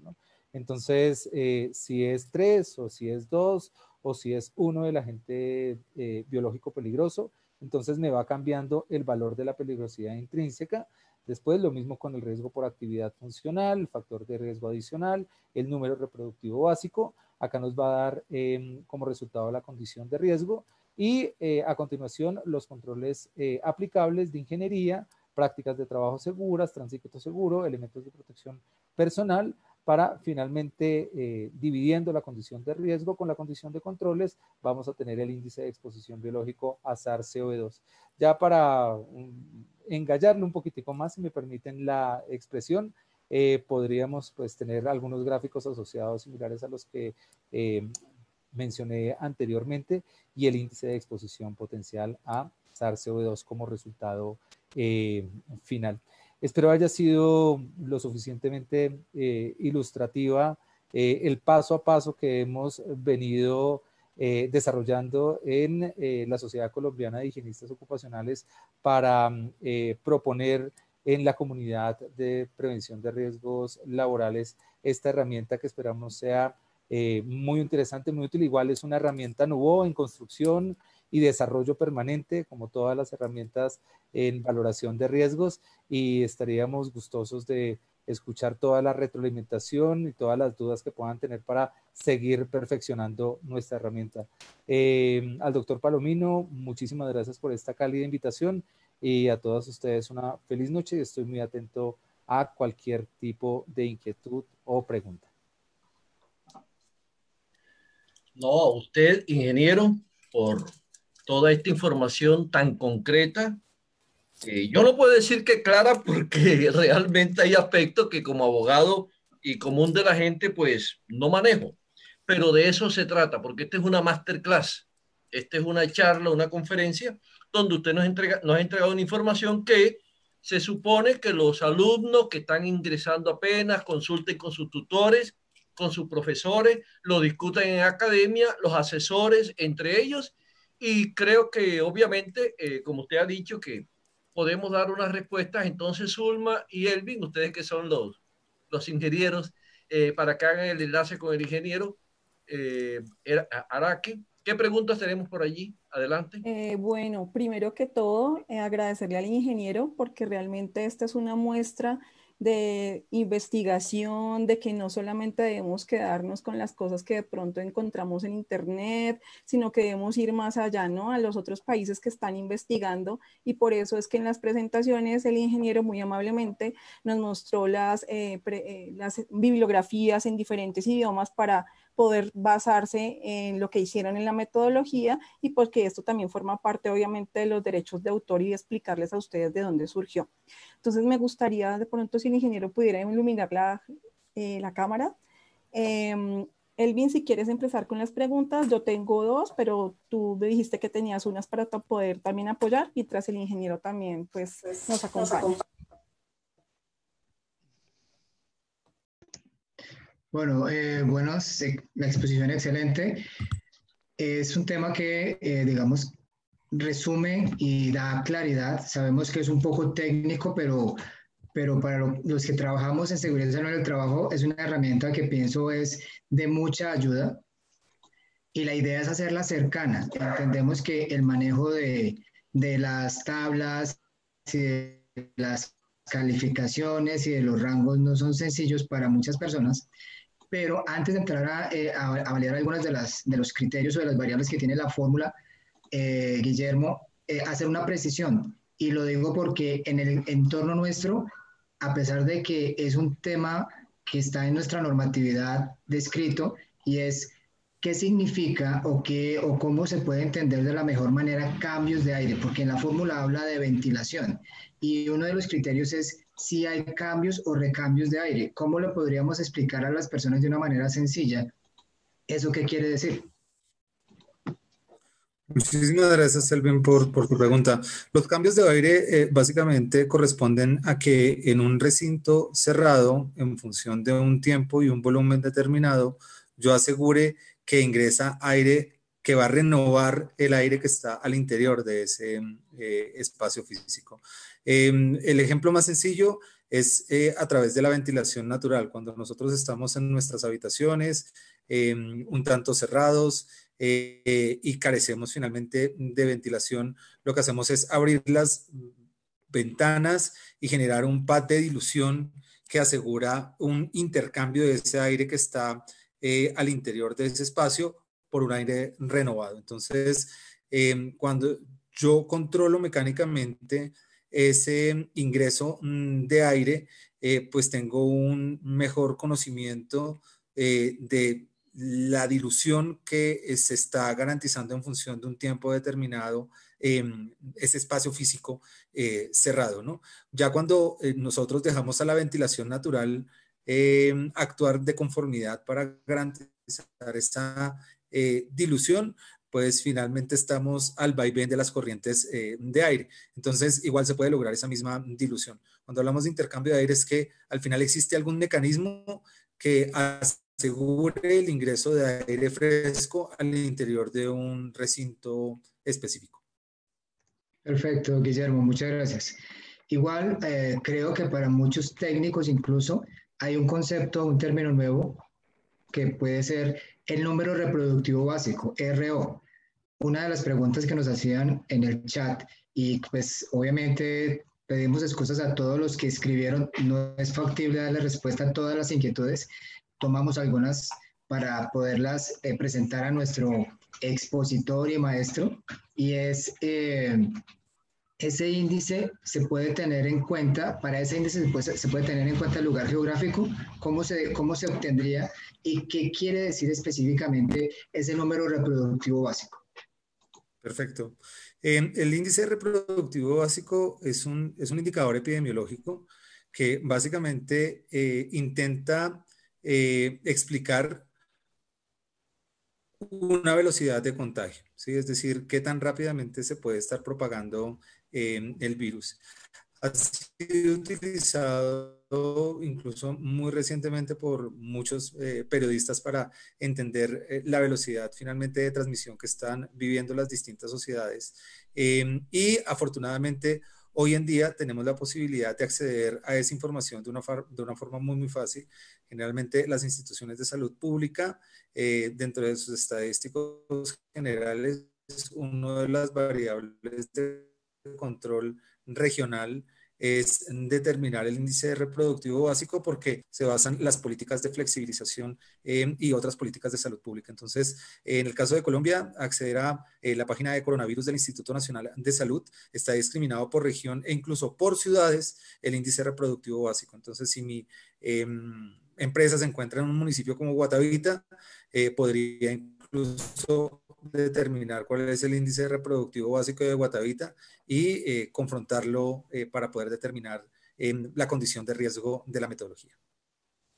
Eh, gracias, ingeniero. Una pregunta que nos hacen de Tomando Café con María José. En la gestión del cambio, ¿podría adicionar esta metodología al procedimiento de la investigación de, de la matriz de peligros y riesgos y de allí partir a establecer controles más efectivos? Sí, un saludo especial a María José y a todos los miembros de esa maravillosa comunidad. Sí, en efecto, a nosotros nos dice la ley, evalúa el riesgo. Y evalúa el riesgo puede ser por tu percepción organoléptica, por tu juicio de valor, utilizando la matriz de identificación de peligros o evaluación de riesgos, eh, o haciendo una PCR eh, eh, en tiempo real, ¿no? Es decir, existen muchísimas metodologías para llegar a ese tema. Entonces, eh, al final podría yo utilizar una metodología de evaluación simplificada para poder establecer una medida de control con mayor exhaustividad, por supuesto. Eh, aquí me cabe una pregunta y es la siguiente. ¿Cuánto tiempo se demoraron ustedes en recopilar esa información para condensándolas en esa herramienta que nos puede ser tan útil?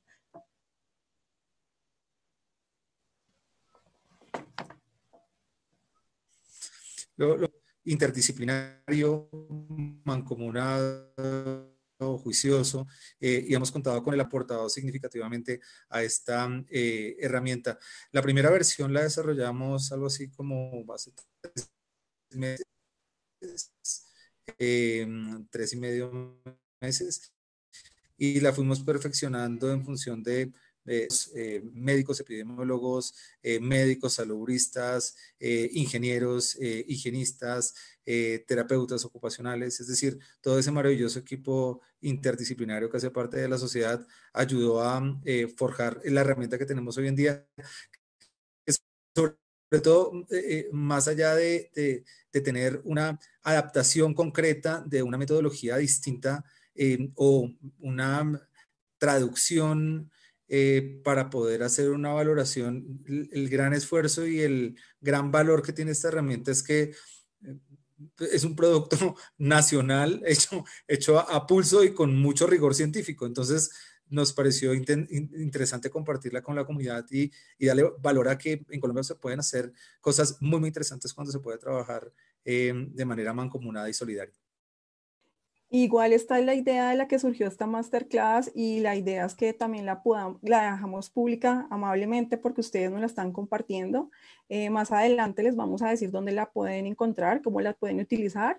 Obviamente les agradecemos respetar los derechos de autor de la sociedad pues que muy amablemente hizo los estudios, nos va a entregar la herramienta y si de pronto se diera la oportunidad más adelante, de pronto va a ser como una retroalimentación a ver cómo nos fue con el uso de esa herramienta, porque es también importante hacerle esa trazabilidad a ese estudio que ustedes están realizando y ver cómo lo vamos a llegar a la práctica, ¿verdad? Entonces eso también sería muy importante. Una pregunta que también nos hace María José Gaviria directamente y es, ¿qué se hizo en el pasado con esas otras partículas que están en, natural, en la naturaleza de las otras pandemias que se, han, que se han presentado en el mundo y que no se ha hecho ahora? Y qué esto nos lleva a aprender, qué nos lleva esto a aprender, que no hemos hecho para poder controlar, digamos, estos factores biológicos. Sí, esa es una muy buena pregunta porque la verdad creo que hoy no la tenemos tan clara. ¿sí? Es decir, em, una de las pruebas de hipótesis más fuertes es que el número de, de asintomáticos es muy, muy alto eh, y finalmente la transmisión por asintomáticos es también igualmente muy, muy alta, más que incluso la transmisión por otras vías, por, por fomites o, la transmisión a través de eh, aerosoles. Entonces, esa es al parecer la, la, la, prueba de hipótesis un poco más fuerte que está hoy en día, y es que en el marco de un mundo globalizado, interconectado, eh, pues tener un virus silencioso, Em, en donde uno puede estar interactuando con una persona que la ve bien, que no estornuda, que no tiene fiebre eh, y que está jugando un partido de fútbol y al final es eh, una persona que tiene el COVID-19 y que lo puede transmitir a partir de la exudación de un contacto físico eh, jugando un partido de fútbol, pues al final creo que las, las teorías más allá de lo que se ha investigado profundamente en materia de otras alternativas, otras vías de transmisión, es esa, ¿no? Es decir, el número tan importante que hay hoy en día de asintomáticos. Posiblemente frente al MERS y el SARS, eh, si no estoy mal, em, la, la, sintomatología eh, se presentaba de una manera agresiva y eh, similar mm, en cierta medida al nuevo coronavirus y no había tantos ah, asintomáticos. Entonces, dentro de las estructuras de vigilancia epidemiológica era muchísimo más fácil reconocerlos y controlarlos. En este momento creo que el, el gran reto es cómo identificar a esa serie de, de, asintomáticos y por eso las instituciones de salud pública y las recomendaciones de eh, organismos multilaterales es al testeo masivo. ¿Cómo podríamos nosotros, los que estamos aquí, eh, hacer masiva esta herramienta que fuera conocida por las ARLs, que fueran conocidas por las entidades de salud, Ministerio de Trabajo? Eh, ya sean de algunas preguntas en, la, el chat decían, ¿eso es conocido por las ARLs o esto hasta ahora lo estamos difundiendo? No, la verdad es que hemos compartido esta herramienta con distintas comunidades. Hoy tenemos la oportunidad de compartirla en este maravilloso espacio. Seguimos haciendo eh, el esfuerzo de tener mm, otro tipo de, espacios para poderla eh, divulgar y naturalmente, como en todo, las eh, iniciativas que vienen de sociedades científicas tienen que ser impulsadas con ahínco, con pasión y con tesón. Entonces, pues poco a poco vamos a seguir posicionándolas y, y naturalmente también el hecho de poder tener mejor retroalimentación de distintas partes de interés puede ser utilizada por ARLs, por el ministerio, eh, por eh, eh, prevencionistas, por empresas de cualquier orden, grandes, pequeñas, medianas, y creemos que ese es el aporte de valor que tenemos a la sociedad. Sí, y volvemos a repetir, obviamente bienvenida a utilizarla, pero respetando los derechos de autor. Una pregunta, ¿cómo podemos afiliarnos a la sociedad? ¿Cómo podemos conseguirlos a ustedes, al ingeniero Álvaro, al ingeniero Guillermo y a todo ese equipo de profesionales que muy amablemente hoy nos están dando esta herramienta para que todos la podamos utilizar? Ustedes han sido tremendamente generosos conmigo y con mi papá, pero en realidad la Sociedad Colombiana de Higienistas Ocupacionales es un número nutrido de eh, personas muy, muy entusiastas eh, que tienen como, como core de vida dejar una huella en la disminución de la probabilidad de ocurrencia de enfermedades laborales en nuestra sociedad y dejar también impregnada su firma en la historia de Colombia em, en, ese, en el cumplimiento de ese, de ese propósito. Em, tener voluntad, tener cariño, tener amor, querer hacer parte de estos comités de trabajo voluntario, eh, dedicar un tiempillo para, para poder investigar, aportar a la, a la profesión y fácilmente en www.scho.org.co pueden acceder a eh, el portal nuestro y en la parte de miembros o de membresía eh, pueden mirar cuáles son eh, los requisitos, que no es más que tener pasión, ganas eh, y querer participar en uno de los comités de trabajo voluntario, nada más.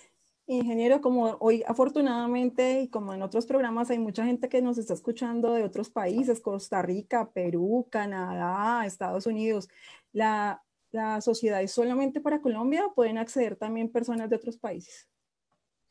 No, pues está abierto para todos los países. Eh, indiscutiblemente también hemos hecho una red de cooperación de distintas asociaciones latinoamericanas de higiene eh, ocupacional, incluso desde el seno de la eh, International Occupational Hygiene Association. Hemos tenido la maravillosa oportunidad de encontrarnos con colegas de Perú, de Brasil, de muchos países centroamericanos, de Chile, eh, de Argentina. Eh, incluso estamos trabajando en proyectos eh, de cooperación muy, muy interesantes para seguir fortaleciendo la higiene ocupacional. Entonces, son igual de entusiastas que nosotros y si puede existir un nexo en ese país de origen con la asociación que nosotros conocemos del país, sería maravilloso que hicieran patria también allí y que se afiliaran a la sociedad de cada uno de los países de, origen. Pero naturalmente la sociedad está abierta para eh, todas las profesiones y para en un mundo globalizado eh, todas las personas de todos los países. Muchísimas gracias. Eh, quisiera llamar al doctor Palomino para que por favor una pregunta que está en el chat nos pudiera colaborar con ella porque tiene que ver con el tema legal y el conjunto aprovechando que está el ingeniero Guillermo acá. La pregunta dice, ¿qué documentos legales o directrices específicas se deben tener en cuenta al momento de actualizar la matiz de peligros y qué y, eh, de peligros y si se debe verificar con la GTC 45 o con qué metodología? Entonces, como va la parte legal y va la parte eh, de ingeniería.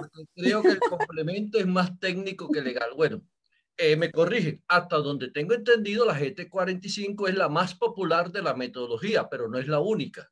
Por tanto, las empresas tienen la libertad de escoger la que consideren. Hasta ahí diría yo que es la primera parte, porque yo no podría decir desde el punto de vista legal, porque creo que la respuesta es más técnica y científica que legal. Quiere decir, la empresa puede escoger la metodología que, eh, que, le, que le sirva a su cometido y que se adecue a ella. Más bien le doy la palabra a los ingenieros.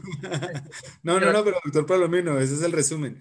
Eh, la ley te dice evalúa, pero no te dice que tiene que ser por tal o cual metodología, la que mejor se adapte a la empresa, eh, finalmente da el cumplimiento legal.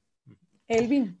Yo creería, gracias eh, Zulma, y pues muy, muy, muy eh, puntual y muy preciso Guillermo. pienso que es una oportunidad de tener una herramienta que se crea por primera vez.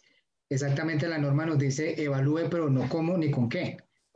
Y pues ojalá la norma nunca lo diga porque eso nos metería en una camisa de fuerza que el día que la metodología cambie, se actualice o mejore, pues nos quedamos retrasados. Y también Guillermo lo mencionó en algún momento cuando hablaba sobre los eh, niveles límites eh, permisibles o los TLBs, que pues es más bien adaptarnos, que la normatividad diga que nos adaptamos a X o Y eh, estándar que es más fácil cuando se actualice o se eh, regulen nuevos límites y pues estaríamos actualizados de manera permanente. Sucede lo mismo con estas herramientas. Aquí de manera particular es que si quisiéramos hablar de GTC 45 y Guillermo me corrige, eh, ¿yo qué haría? Adaptaría este, esta, esta herramienta a riesgo biológico dentro de la GTC 45. Pienso que sería un hit y además es una ayuda gigante que no existe en este momento.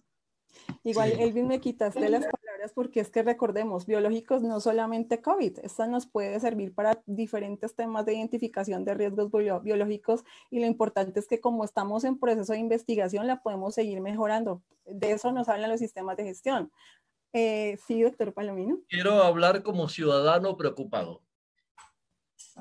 Eh, me disculpan, pero creo que la gran mayoría de los que tenemos ya algunos años, y yo tengo mucho más que ustedes, nos quedamos con los conceptos de salud ocupacional. Decía en el programa del domingo aquel triangulito que hablaba de salud, eh, que la salud ocupacional es medicina industrial, higiene industrial, seguridad industrial, que y casi siempre trabajábamos era la seguridad industrial. Para nosotros fue muy, me disculpo, eh, un poco extraña la higiene industrial. Creo que nos dedicamos solamente a hacer la lectura y los técnicos no interpretamos, sino nada más damos la lectura. ¿Por qué les estoy comentando esto? porque qué generosidad la del doctor Guillermo, su padre, que tuvo dificultades para venir hoy y le enviamos un saludo, obviamente, y de la asociación que ustedes representan, porque nos están entregando sin ningún, digamos, interés una herramienta que considero, por lo que he visto, es nueva, es, digamos, revolucionaria, es una propuesta. Por ahí vi en alguno del chat que las ARL, ¿por qué no la conocen? Es que todavía no la conocen. Se está presentando. Y el ingeniero dijo, esta es la versión 2 de algunos de los aspectos. Entonces, ¿qué quería resaltar y agradecerle, ingeniero? El hecho que usted haya entregado a los colombianos y a la comunidad internacional, porque esto no es solamente para Colombia. El, el virus está aquí en cualquier lugar del mundo y creo que lo técnico y científico aplica en cualquier lugar, obviamente con lo que ustedes dijeron, la diferencia geográfica. Entonces, como ciudadano, agradecerle que nos haya entregado esta herramienta. Obviamente, entiendo que en una hora, esto es el resumen de mucho tiempo, por ello pido a los profesores, a los asesores, a las ARL, que internamente la estudien, la analicen y obviamente pues consulten. Eh, ¿Me permiten un servicio social? Eh, para las personas que están preguntando que dónde pueden ser enviada la herramienta, internamente estuvimos discutiendo y pensamos que la mejor, eh, la manera más fácil es, ya le coloqué debajo de la descripción del video el enlace a la fanpage Academia Virtual. Entonces ustedes ingresan allí en ese enlace, van a la sesión de archivo y la descargan. Quiere decir para no enviar por correo, que sea algo tan fácil. Y ese es algo que también me gustó de los ingenieros Araque, que abajo dice dominio público. O sea, no es fácil encontrar que la gente diga, mire, he creado esto y esto es de ustedes. Doctor Guillermo, de verdad, mi agradecimiento como ciudadano, como persona, independientemente de lo que represente en la docencia. Mi agradecimiento. Gracias. Continúen, compañeros. Gracias a usted por habernos permitido eh, compartir este pequeño esfuerzo que estamos haciendo para Colombia a través de su portal, eh, que es de un éxito rotundo. Muchísimas gracias, doctor. Pero le recuerdo, este es el, este es el resultado de la unión de Diana Rivera, eh, Carolina Vilacoral, eh, María José Gaviria. María José, que me dice, ya no me saluda, es que estoy metiendo unos cuentos, María José, y de todas las personas que dijeron, vamos a unirnos. Por eso hemos dicho, a propósito, los canales que deseen tomar la información aquí requerida no necesitan permiso. La pueden tomar y multiplíquenla, porque necesitamos para poder combatir el COVID que herramientas como esta se presenten. Y obviamente yo sé, doctor Guillermo, que usted está abierto a los comentarios, a las opiniones, porque mejoramiento continuo. Ese es, lo más importante, es lo más importante. Para nosotros la retroalimentación es sustancial para seguir haciendo una herramienta muchísimo más robusta. Ingeniero Guillermo, una inquietud. Si algunos vamos a tomar la herramienta y quisiéramos hacer una retroalimentación de cómo nos ha ido y demás, eh, valga la invitación para que pues le demos like en la, en la sociedad, la recomendemos, la multipliquemos. Si quisiéramos hacer conocer esos resultados, cómo nos fue, de pronto algo que quisiéramos mejorar, ¿lo podríamos hacer por medio de la sociedad o cómo podríamos? Claro que sí, claro que sí. Em, Elvin es nuestro Community Manager. Muchísimas gracias de nuevo, Elvin, por todo tu apoyo en, en la gestión de las redes sociales. Eh, yo creo que esa puede ser finalmente la vía más expedita eh, para hacer una retroalimentación masiva eh, de los comentarios de pronto a la página de Facebook. Elvin, creo que puede ser. Sí, sí señor, pienso que el Facebook, la página de la sociedad, es el mecanismo que podríamos utilizar para que nos escriban y nos consulten. Eh, permanentemente la estamos actualizando, la estamos eh, revisando y cualquier inquietud que llega, cualquier consulta es remitida directamente a los miembros de la sociedad, eh, inicialmente pues a su junta directiva para que desde ahí se direccione a los comités respectivos y den la respuesta que corresponde. A propósito, he colocado en la descripción del video enlace a tres canales amigos, donde pueden ustedes complementar información. El primer enlace es al canal de la doctora Diana Cuervo, a quienes nuevamente agradecemos que no tenemos cómo pagarle a la doctora Diana esa generosidad por habernos presentado a los doctores Araque. La doctora Diana le hizo a los doctores un video muy hermoso, muy bonito y hay información científica. Pueden consultarlo. Eh, nuestra compañera Diana Rivera HCQ también ha hecho unos videos sobre esto de las pruebas, etcétera. Ya les hice un enlace. Saludos, Dianita. Y en el consultorio jurídico del domingo pasado, nosotros invitamos al padre del ingeniero Guillermo, que es de la primera generación, Iván de la Rosa. Yo creo que tú eres antes de la nuestra. Nosotros hicimos generaciones. Entonces ahí estamos peleando quién es la primera. Y ellos allí se refirieron en extenso durante hora y tanto a aspectos de la higiene industrial. Y uno de los aspectos que hablaron, ingeniero, si usted me lo permite, es, ustedes tienen una idea, que en Colombia haya un instituto. Y Jesús Palomino y los que estamos aquí presentes queremos apoyar esa idea. Eh, ¿Nos puede refrescar de qué, qué es ese instituto que ustedes desean que se construya, que se... No, que se, que se cree. Materialice, sí. Que se materialice. Para aquí, que la comunidad lo sepa, porque en el próximo evento de ASONAP, por lo menos yo me comprometo a llevar la vocería en mi ponencia, aprovechando que van a estar altos dignatarios del Estado, los presidentes de las ARL e importantes funcionarios de las grandes empresas. Entonces, hay que coger esta idea y materializarla. Doctor Guillermo, nos gustaría escucharla, si usted gusta, lógicamente. Claro que sí, doctor Palomino, no, muchas gracias. Eh, eh, sí, lo, que estábamos planteando en el consultorio del día domingo es que de, tiempo atrás consideramos relevante que pueda existir un instituto de primer orden en seguridad y salud en el trabajo que realice las veces de investigación primaria eh, asociado a nuestro contexto local y que haga sus veces de un referente técnico y científico eh, para, para, el país, ¿no?